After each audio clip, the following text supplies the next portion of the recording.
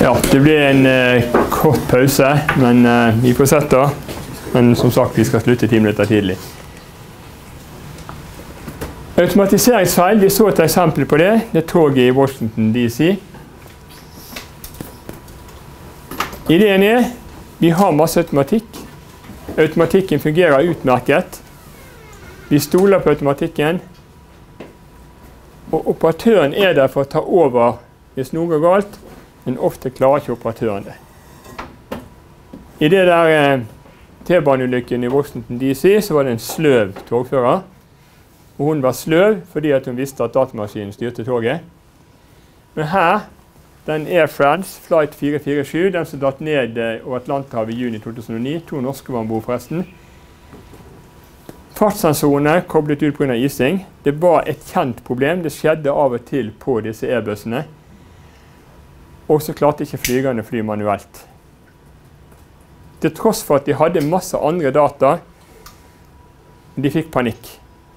Og det var det at Grunnen til selvfølgelig at teknikken koblet ut, var at de var i et uvær. Hadde det vært noen helt normale forhold, ville de sikkert klart å ta over. Men de var under et uvær. Det krevde noe av pilotene, men pilotene klarte ikke å ta overgangen fra at det var maskinen som styrte flyet, til de sjøl skulle styre flyet. Så det ble sett på som en pilotfeil. Så det de gjør nå, er at når de putter disse flygerne i simulator, som de gjør ganske ofte, en eller to ganger for året, så er dette en av de tingene de tester på. De gir dem en uh, uværssituasjon, og så kobler fastsensoren ut, og så skal de lære å ta over. Det som skjedde her, var at de uh, fløy for sakte. Så flyet ståla. Det betyr at flyet går opp sånn, og så detter det baklengs ned igjen. Men all informasjonen altså de, de har jo funnet lydopptak, og da sa denne der, de har også sånn lydsignal der, og de sa stål, stål, stål. Så de visste at de gikk inn i stål. Og det du skulle gjort, var å gi fyll gass og ta spaken fremover, men de gjorde ikke flygerne. Så de hadde en slags panikksituasjon. Så det at du har en person der for å ta over, ikke sikkert gir sikkerhet. Du må i hvert fall teste på at det gir sikkerhet på forhånd stadig vekk sånne som har fulgt bilnavigatorer rundt omkring. Vi stoler på bilnavigatoren. Altså Den bilnavigatoren min har jeg forsøkt å få meg ned. altså Vi var i Malla en gang. da Bilen har, har oss gjennom en gågate. Til slutt ble vi så lei at vi bare koblet av bilnavigatoren. Så kjørte vi bare i én retning. For vi, Hver gang vi satt på navigatoren, så fikk han tilbake til de samme gågatene som var umulig å kjøre i. Og I Bodø så ville navigatoren ha meg ned i en skiløype. Det var ikke vinter. Vil, jeg har firestreker, det ville kanskje gått, men uh, jeg tok ikke risken på det. Så vi må liksom ta den instruksjonen med en klype salt. Men poenget her flygere og datamaskin og bilfører og navigator, alt må ses som ett system. Det hjelper ikke hvis den ene biten fungerer hvis den andre biten ikke fungerer. Så du må teste flygerne på at de klarer å ta over. Men til gjengjeld, det å fly er veldig trygt. Det er det tryggeste du kan gjøre nesten i forhold til å være hjemme. Skal du reise, i hvert fall, så er fly det tryggeste per kilometer. Sjekklister. var en liten kommentar satt inn. Krysse av. Det gjør flygerne før de tar av. Har vi husket alt? Har vi husket å fylle bensin? Ja, men det er flyger som har tatt av uten nok bensin. En amerikansk lege har jobbet veldig hardt for at de skal innføre sjekklister i sykehus. Hva skjer da? Jo, antall uhell går dramatisk ned. Bare med å innføre sånne helt enkle sjekklister. Så etter operasjonen har vi funnet alle saksene våre. Nei, det mangler én. Hvor er den henne? Kanskje inni her? Jo, inni pasienten der var det en saks. Ja, men det er jo altså, Jeg vet om pasient på Molde sykehus har, gått med tolv sånne klyper i magen i ganske mange år. Fordi at kirurgen glemte å fjerne dem. Så sånne ting. Opptelling etter operasjonen. Sjekket alt, krysser av, vi har telt opp, det stemmer, og så signerer de på bunn. Da unngår du masse feil. Nå har de begynt å innføre det i Norge òg. Men det er en som motstand mot legene. Men vi vet jo det der, vi husker det. er jo tåpelig. Sant? Klart at vi har fylt bensin, sier flygerne. Men hvis du må krysse av for deg og signere, så ser du kanskje på bensinmåleren. Og da sier du 'ops, oi, vi har visst glemt det i dag', eller en feil. Så det, det, sånne feil skjer ikke, for de skjer ofte pga. at det har skjedd en annen situasjon. Kanskje du skal fylle drivstoff, og så viser det seg at det er et problem, så vi må vente til seinere. Men så seinere glemmer du det og sånne ting. sant?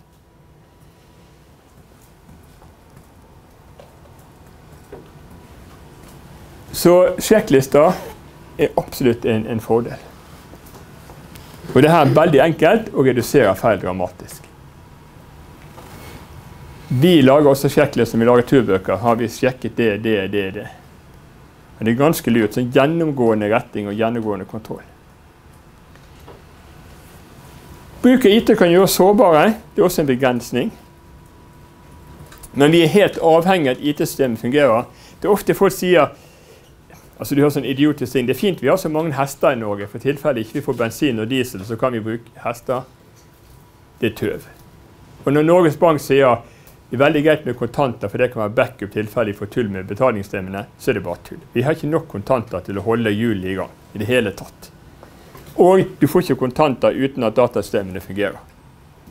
Så det er en sånn påstand som man må begrunne.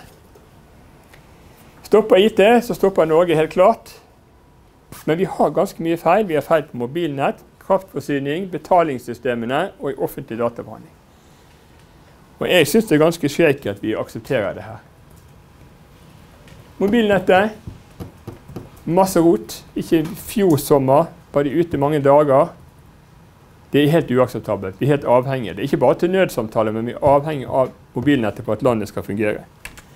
Kraftforsyningen. Her er alle lederne i kraftselskapene i Norge livredde for strømbrudd. Bergen eksempel, er avhengig av én kabelledning for å få strøm. Ryker den, så har ikke Bergen strøm. Og Hvis det er sånn fjordspenn skulle ryke, si et fly kjører inn i det, noe sånt, det tar uker å få gjenopprettet strømmen. Betalingssystemene Jeg mener at det skulle vært umulig at du får en melding fra banken din om at nettbanken er nede pga. feil eller vedlikehold. Myndighetene skal si vi er så avhengig av betalingsstedene at de må oppe hele tiden. Og hva kan myndighetene gjøre? Jo, jeg mener gi bøter. For hvert minutt du er nede, så får du en million kroner i bot. Hva skjer da? Da banken sier at vi må sikre oss. Og Da kan du ha to datamaskiner, to uavhengige system. Et supereksempel NSB for noen dager siden så stoppet toget i hele Norge. Og hvorfor det? Jo, fordi at de hadde feil på en datamaskin. Men feil på en datamaskin er ikke det samme som at eh, månen har landet i Oslo sentrum. Det er ikke en uforutsett hendelse, det er en forutsatt hendelse at det er feil på en datamaskin. Men de hadde jo backup.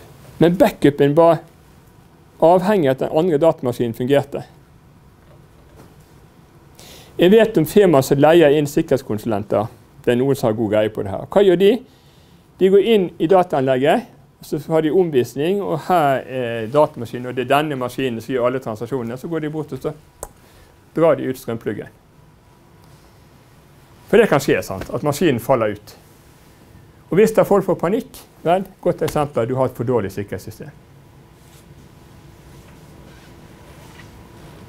For et godt sikkerhetssystem så skal det ta ut strømmen på ene maskinen bare betyr at en annen tar over. Og Den har alle data, så han bare fortsetter der den slapp. Jeg hadde nå på min PC så har jeg to speilerdisker. Hoveddiskene speiler på to forskjellige. Så her røk den ene disken ene dagen. Og Da får du en melding. Disken er gåen, men du får sett det som før. Midt i Word. Jeg mistet ikke et tastetrykk, så vidt jeg husker. Fordi alt er laget dobbelt. Og Sånn må du forlange at bankene har. Og Så kan du selvfølgelig si ja, men hvis Telenor skal doble alle sine system, det blir dyrt. Nei. For Telenor og NetCom kan inngå samarbeid. De har jo uavhengige nett. Hvis Telenor får problemer, så får NetCom ta trafikken. sånn som vi snakket om. Så det her burde vært ikke mulig. Ahus hadde store problem.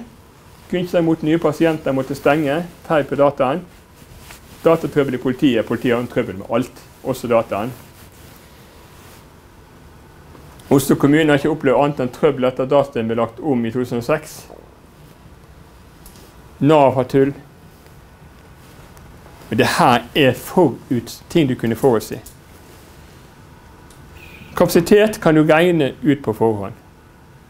Jeg husker vi laget et journalsystem for helsesenter i, eh, tilbake på 70-tallet. Og det skulle hente frem journalene fra en disk. Og vi hadde regnet ut at det ville ta 2,3 sekunder å hente journalene fra en disk. Og det tok jeg tror 2,3 eller 2,2 eller 2,4. Det var i hvert fall helt i nærheten. Så det er ikke sånn du må sette et datasystem i drift og få 1000 brukere før du oppdager oi, det går altfor tregt med 1000 brukere. Sånn som Nav. Hva gjør du? Jo, du henter ikke inn 1000 prøvekaniner og bruker systemet, men du lager et bitte lite program som belaster systemet som om det var 1000 brukere. Og Så lener du tilbake og ser går det fort nok nå, og svaret er sannsynligvis nei. Men hadde du tenkt på det på forhånd, så hadde du regnet ut at dette systemet her, med nåværende maskinpakke og programvare, vil kunne betjene 1000 brukere med rimelig responstid. Men sagt, for å teste det, så trenger du ikke installere det på alle Nav-kontor i landet. Du har et lite program som later som det er alle Nav-kontor i landet og belaster den serveren din. Sender meldinger hele tiden. Så vet du på forhånd om det her kommer til å gå eller ikke. Men, så de, har gjort feil i utviklingsprosessen. De har ikke regnet og forventet hva tider de kan forvente. Og de har gjort feil at ikke de har testet det skikkelig. Og så installerer de det, får de masse problem. Det er amatørmessig databehandling fra ene enden til andre enden.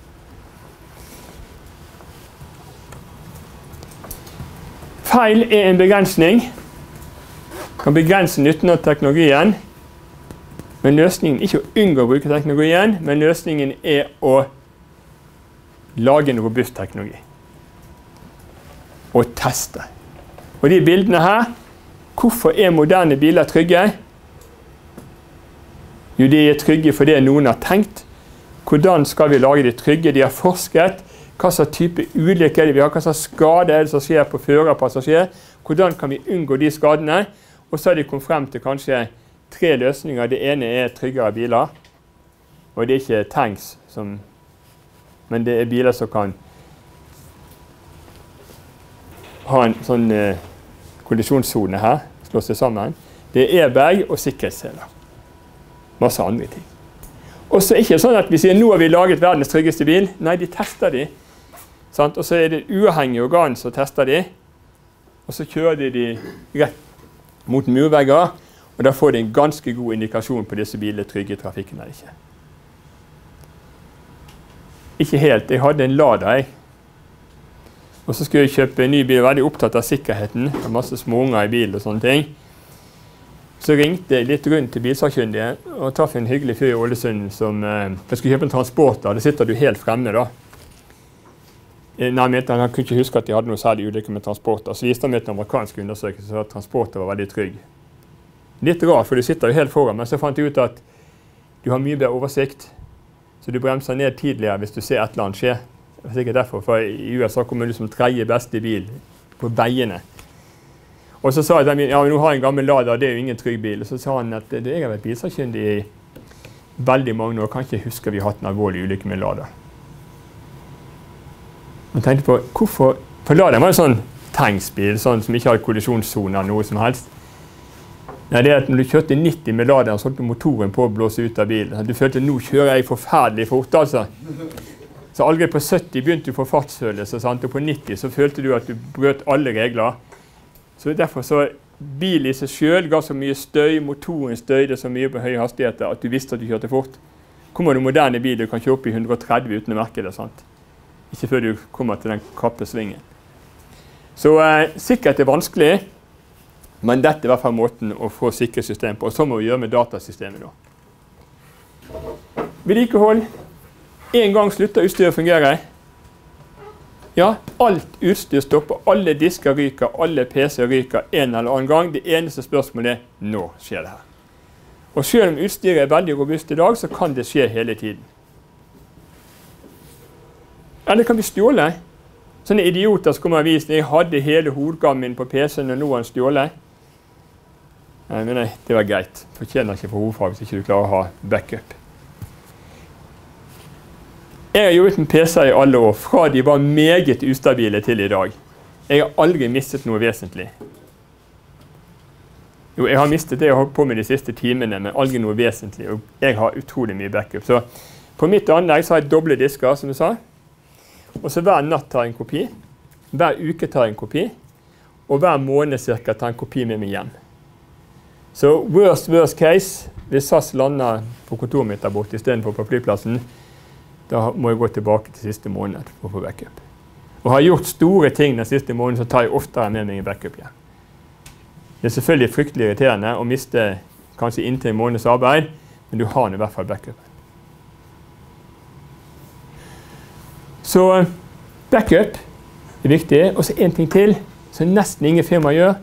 Sjekk at backupen virker. Det er derfor han sikkerhetskonsulenten drar ut stikkontakten. For de sier vi har backup. Men flott, da kan jeg bare teste det her. Vi var på en sånn demo med IBM. De hadde sitt journalsted, men vi hadde vårt. Og så sa vi det med strømsikkerhet og sånne ting. Men det er litt viktig, for helsesentrene ligger ute i distriktene. Strømmen kan gå. Og så sa vi vi kan nå som helst trekke ut pluggen. Så han IBM sa kan jeg trekke ut Nei, nei, nei! så Deres system var shaky, sant? men vi hadde et sted vi bare kunne røske ut. Og, og, sånt er viktig, altså. Så eh, masse backup, og så må du teste at backupen virker. Og så må du en ting til du må teste. Du må teste hvor lang tid det tar å få inn backupen. Sånn, du har en online-butikk som selger for millioner hver dag. Og du er IT-sjef, og så spør folk om backup. Har vi backup. Ja, jeg har backup på alt. Og så går maskinen. Ja, da vi har backup, men det vil ta en uke å komme på luften igjen. Sånn som bankene. Det er ikke holdbart. sant? Altså må du ha backup kanskje ikke på magnetbånd, som man hadde før, men på disker, slik at du kan hurtig, og helst speilvending. Slik at du sier at det ikke er noe problem. Hvis ene maskinen detter ned, vil andre ta over. Det tar ca. et tiendedels sekund. Det er mulig at de som er på nett, vil miste et tastetrykk, men det bør helst ikke skje, det heller. Så det går an å få tidene ned til null. Men sånne ting må du tenke på på forhånd. Og selvfølgelig, her var det flom i Thailand. Alle fabrikkene var oversvømmet. Det som skjer ofte med flom, er at 1. datamaskinen blir satt under vann. 2. backup-systemet blir satt under vann. Så du bør kanskje tenke på å ha backup et annet sted enn der du har hovedanlegget ditt. Slik at ikke samme naturkatastrofe ødelegger for begge deler. Google har jo lært det. sant? De har jo enormt for det første har de masse redundans. Samme data ligger på mange disker. Så hvis en disk detter ut, så gjør det ingenting, for det er på andre disker. Og så har de datasentre over hele verden. Du må egentlig tenke på det. Det kan være en flom i USA som setter store deler av uh, en stat under vann. og Da bør de ikke berøre Google andre steder.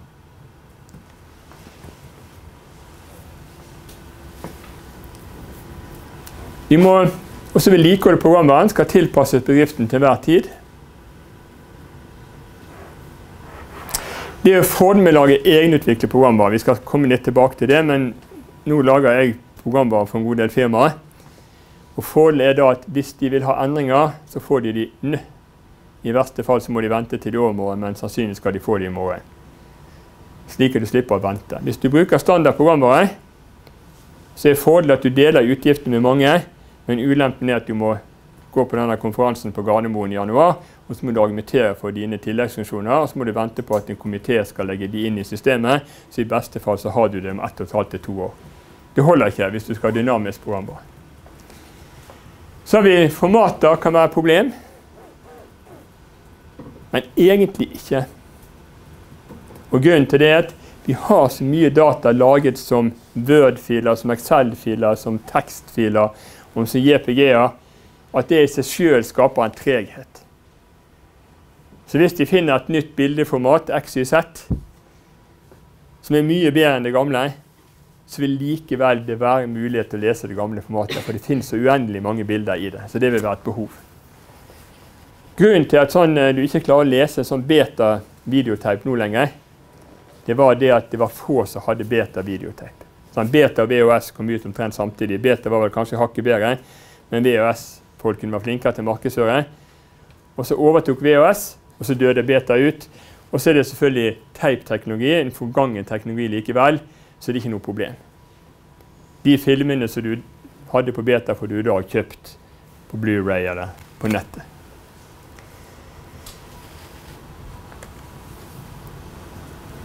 Ja, vedlikehold kan være en begrensning. Tidligere var det med vedlikehold dyrt. Vi regnet ut her på huset 50 000 kroner koster vedlikehold hvert PC hvert år. PC-en koster kanskje 10 000, 10 20 000. Men vedlikehold var mye dyrere. Altså, Da tok vi lønningen til de på IT-senteret. Tiden de er med i for brukerne å finne feil. Skulle installere et nytt programvare, så kom de opp fra IT-senteret og satte seg ned maskinen og ble der resten av dagen og installerte programvare. I dag har vi plug and play, og det var liksom ledd mye av når det kom, men nå virker det. Jeg blir imponert hver gang jeg kjøper en ny enhet. En ny mobiltelefon. Skulle jeg laste ned hele kontaktlisten min fra den gamle. Det var ikke noe problem. For det, det jeg gjorde var, det sto masse som kunne bruke, ta inn og ut SIM-kortet mange ganger, men det var jo bare tull. Det beste, jeg tok jo den, eh, tok backup på den gamle telefonen min. Fra det backup-programmet til Nokia fikk jeg laget en sånn kontaktlistefil i et standardisert format som den Samsungen kunne lese. No problem. For det er standardiserte format. Så Nokia kan lage en kontakt med en sånn CSV-format som er standardisert, og Samsung kan lese det. Men den eh, Forrige gang kjøpte mobilen, kjøpte en HTC. Den la jeg ved siden av den Nokia-telefonen. Og Så trykte jeg på begge to, så kommuniserte de via Blu-ray. Og så fikk jeg lastet ned kontaktlisten. Den fikk med SMS-en og hele skiten, så den var jo veldig bra. Så eh,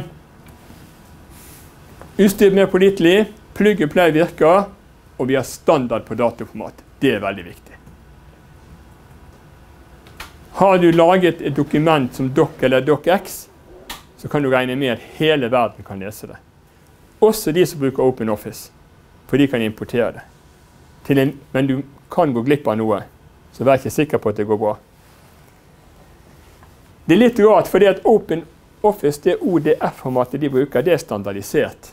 Det er en offisiell standard. Men det er det ingen som bruker. eller nesten ingen som bruker. Men Stock og DocX-formatet er bare det vi kaller en sånn de facto-standard. Det er bare blitt slik. Det er så mange som bruker Word, så derfor er det en standard. Så jeg har aldri hatt noe problem, uansett hvor i verden jeg sender en sånn artikkel med doc-format, at folk ikke kan lese det. Men skal du være helt trygg, kan du lage en PDF. Men da får de selvfølgelig en versjon de egentlig ikke kan endre i. da.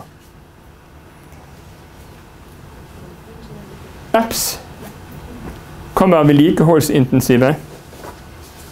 Den måten de løser det på, er at du kan sette opp telefonen som automatisk oppdaterer apps. Så hver gang han er på et nett, så ser han den nye versjonen av apps, og laster han de ned. Egentlig så har ikke jeg helt tro på apps. Det er en sånn eh, Det er en måte å lure utviklere på. Ta Apple. De har et operativsystem og telefon som kan gjøre mange ting. Og så har de en sånn iTunes står der du kan legge, lage dine egne apps og få de godkjent og selge dem. Okay, la oss si at du har laget en app, og du er skitheldig for at du får suksess med den appen. Hva gjør Apple da neste gang? Jo, de legger det inn operativsystem med akkurat den funksjonen. For de ser at det er noe mange kunder trenger. Hvorfor skal de laste ned og betale han på den appsen? Vi legger det inn som en del av vårt system. De har gjort det med mange ting. da. Så det der er en sånn testområde der de lar utvikleren få lov å teste seg. Og de som har suksess, de tar Apple over og gjør noe med. Og så er det selvfølgelig Jeg var inne på kalender. Jeg tror vi fant ut det var 2500 kalender-apps på AppStore på Google. Det er ganske mange, det. Hva er det som skal få til for at din skal bli lastet ned? Jo, det er i hvert fall én ting. Det må være gratis. Så eh, for å tjene penger på app, så må den være gratis. For du håper da at noen vil kjøpe neste versjon. Jeg ser at vi er mer og mer gratis, fordi at folk sorterer ofte på de gratis først. Så de som koster penger, de ligger som nummer 1200, nedover, så langt ned i listen kommer ingen. da.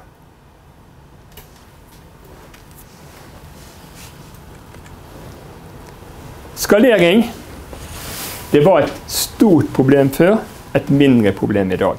Den gangen alt gikk på én stor maskin, og du oppdaget du hadde for lite kapasitet, hva måtte du gjøre? Jo, du måtte kjøpe en enda større maskin, så måtte du flytte alt over.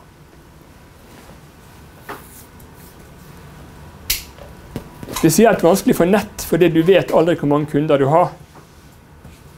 Fordi Hvis du lager et datasystem på et firma, og det firmaet har 50 ansatte, så vet du vel worst case er at alle 50 er på datasystemet.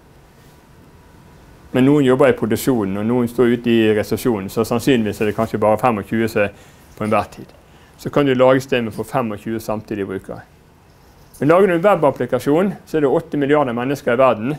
Det er ikke alle de som har nettilgang, men kanskje 2 milliarder kan finne på å bruke ditt system. Da har du et problem. Du vet ikke hva du skal skalere i forhold til. Men løsningen er serverfarm. Istedenfor én stor maskin, så har vi altså en gård, et sett av servere. Så kan du bare dytte inn hvor mange du trenger, så har du noen maskiner som fordeler trafikken på de der. Dette er Googles løsning. Egentlig ikke De bygger sine sentre i konteinere. Og Hver konteiner inneholder da et haug av maskiner i forskjellige rekk. Og så kan de bygge opp datasenter konteiner for container. Så de har valgt en enkel måte å bygge på. Sånn Lego-prinsipp. altså. Så de setter bare konteinerne bortover. Og så har de noen maskiner som fordeler trafikken, og så gjør det ingenting om en maskin faller ut. Fordi at de dataene som ligger på den maskinen, ligger også på andre maskiner. Så Google og Yahoo millioner enkle servere. De bruker helt billige, enkle servere, for de har funnet ut at det er bedre å ha mange billige enn få dyre. Det er jo hele filosofien her også. Du skalerer opp med antall, ikke med avanserte funksjoner. Så de kjøper gammeldagse prosessorer som er billige. Hver maskin har kanskje en disk på en megabyte, som også er veldig billig. Så det er veldig begrensede ressurser på hver maskin, men mange maskiner. Og det er akkurat det vi snakket om før. Mange er gratis i datasammenheng. Det er mye bedre med mange av noe enkelt istedenfor noe lite av noe komplisert. Det er derfor vi bruker totallsystemet. Ja da, det blir noen mange siffer, men hvert siffer er bare 0 og 1. Enkelt. Mange enkelt. Bra. Ikke titallssystemet. Papirløst samfunn. Her kommer ofte tilbake, for folk sier ja, men dere snakket jo om det papirløse samfunnet på 70- 80-tallet. Vel, de som snakket om papirløst samfunn, var de som ikke hadde peiling på det. For vi satt jo og brukte papir hele tiden. Og hvorfor det? Jo, fordi leserne du hadde, var ikke gode nok. Skulle lese en artikkel, print den ut, les på papir. Skulle jobbe med et dataprogram, print ut, jobb på papiret. For da fikk du se sammenhengen. Og På skjermen hadde du bare kanskje 10-15 linjer. På papiret hadde du ubegrenset antall linjer, så kunne du gå frem og tilbake i programmet ditt. Så fikk vi bedre skjermer og bedre editorer. Det første som skjedde, var at vi sluttet å bruke papir når vi skulle lage programmer. Vi jobbet rett i editoren. Og for dere som bruker Visual Basic og Access, så ser vi at vi har en veldig oversiktlig editor. Et redigeringsprogram som viser koden sånn at det er lett å hoppe frem og tilbake i koden. Ikke noe problem. Så da forsvant papiret fra printing. Nå når jeg eh, skriver artikler, ting jeg skriver sjøl, bare datamaskinen printer aldri. Det eneste gangen jeg printer hvis jeg skal lese artikler fra andre, hvis jeg skal lese en masteroppgave eller en ph.d.-avhandling, da printer jeg den. For da kan jeg ta med på flyet, og så kan du bla litt og lese litt frem og tilbake. Det er litt hendig format. Mer hendig enn å ha det på en iPad eller på en telefon eller på en PC. Men når jeg skal jobbe med ting sjøl, så skal jeg skrive sjøl, så vil jeg være der for å kunne rette opp med en gang i teksten. Så får de selvfølgelig også det at Før var jo masse data som var på papir i utgangspunktet bøker, tidsskrift, sånne ting. Nå er de elektroniske utgangspunktet, og da er det greit å beholde den verden når vi er inne i den. Så det papirløse samfunnet det tar tid, selvfølgelig, men vi er på full fart inn i det nå. Det vi mangler, er bedre boklesere og artikkellesere.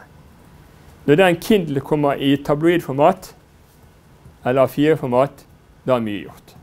Men fortsatt er det sånn titommersskjerm. Men jeg er helt sikker på at den dagen jeg får den lette enheten med fire ukers batteritid, som leser av fire format, da vil jeg ikke se særlig mye papir lenger. Da vil jeg heller flytte de artiklene over til den fremfor å printe dem. Og Vi ser jo printer brukes mye mindre nå enn de blir gjort før. Og På den nye bedriften vi skal opprette, så har jeg tanken ikke ha printere. Det går selvfølgelig ikke an, men ideen er at vi skal ikke ha printer. Men inntil videre må vi nok ha én printer. Men etter hvert skal vi kutte ut printer. Data skal være i datasystemet, ikke på papir. I boken uh, har jeg satt opp denne her. Vi kan ta den før vi gir oss. Og her er det altså en sammenligning mellom uh,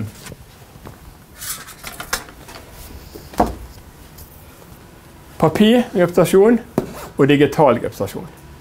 Lese topp kvalitet på papir. Akseptabel kvalitet, litt avhengig av hvilken teknologi du bruker. En Kindle akseptabel for å lese bøker, men ikke som en nettleser. En vanlig LCD-skjerm akseptabel som nettleser, men kanskje ikke for å lese bøker. Jeg vil ikke finne på å lese bøker på en iPad eller en telefon. Presentasjon som bok, som rapporter, som ark. Vises på skjermen, på en prosjektor, på en tablet eller mobiltelefon. Oppdatering ikke enkelt. Du må oppdatere og printe på nytt igjen. Skal boken oppdateres, må du trykke ny utgave. Lett her. Linker manuelle. Du må oppgi navn på den boken eller artikkel du lister til, og så må brukeren finne deg. Her kan det være en link, så du bare klikker på linken, så finner du den artikkelen. Fantastisk mye bedre. Søking manuell automatisk. Det er en kanskje største fordom for at elektronisk skal søke i, i denne tekstmengden. Lagring manuell. Vanskelig for store samlinger. Det er det som heter bibliotek. Store samlinger bøker, ansatte får flytte bøker frem og tilbake. Automatisk ubegrenset størrelse. Så når bøker blir elektroniske, så trenger ikke de de arkivhyllene. Kopiering halvautomatisk. Kopimaskin automatisk. Utsending dissemination på fint engelsk. Du må trykke og sende i posten eller gjennom bokhandler noe sånt. På Internett eller gjennom et eller annet digitalt medie. Og det er vel Internett som er den store løsningen i dag. Kan eh, vi kommentere? Ja. Med blyant. Det er veldig greit når du har en papirversjon. Her kan du taste inn, men ikke alle systemer tillater deg å gi annotasjoner. Kindlen min kan ikke gjøre det. På en bokleser på iPad kan du sikkert legge inn en kommentar. I Word kan du legge inn comments. Men det er veldig lett med papir. Ofte bare setter jeg en strek i magen, spørsmålstegn i magen. Sånn.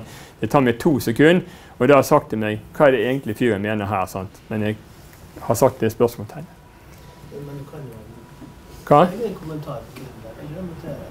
Jo, du kan legge en kommentar, men det tar lengre tid. Det er det, altså, jeg leser en avhandling og så et avsnitt jeg ikke forstår, da skriver jeg et spørsmålstegn sånn til høyre. Og Da har jeg på en måte markert hele avsnittet. Og jeg kan, men Du kan tenke deg at du har noe sånn touch-system. Du kan peke på det, så kan du gi et spørsmålstegn. Det vil komme der òg, altså. Helt klart. Multimedia er ingen mulighet. Yes. Simulering, demonstrasjoner, det kan du gjøre her. Animasjoner, altså. Kan du konvertere til andre medier? Ja visst. Konvertere så mye du vil. Hva slags utstyr trenger du?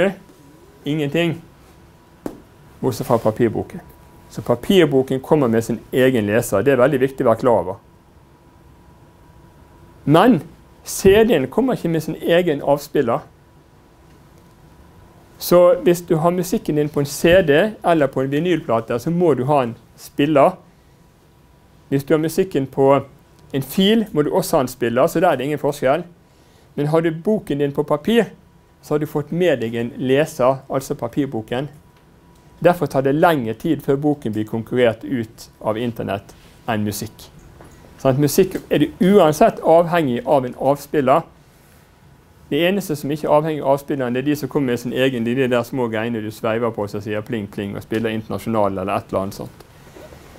Men bøker kommer med sin egen leser. Det er veldig viktig å være klar over. Kompetanse Du må kunne lese, du må kunne lese, og så må du kunne bruke en pad. Men i dag vil jo alle ha den kompetansen. sikkert det er ikke noe poeng. Vi gir oss der, og så fortsetter vi eh, på torsdag.